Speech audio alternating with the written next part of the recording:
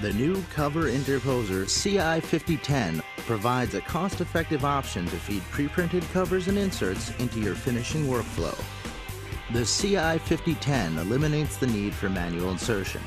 It also reduces document wear and tear caused by the heat and pressure fusing process. The cover interposer seamlessly integrates your documents without feeding them back through the printer.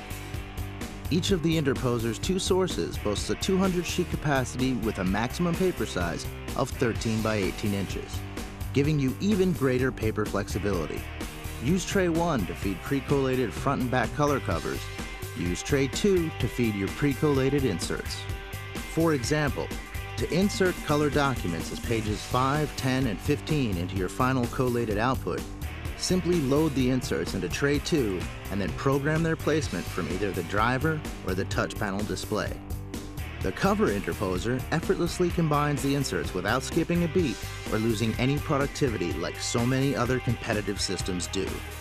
The cover interposer can also be used in combination with the BK5000 saddle stitch unit or the BK5010 production booklet maker to insert full color wraparound covers for your saddle stitch jobs.